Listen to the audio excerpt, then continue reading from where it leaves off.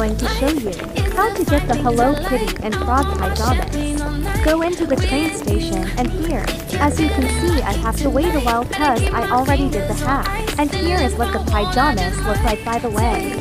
This is the Hello Kitty one. This one is the frog one here. Time for the hack. Go into settings then general, and press date and time. Now you press the green tab on set automatically.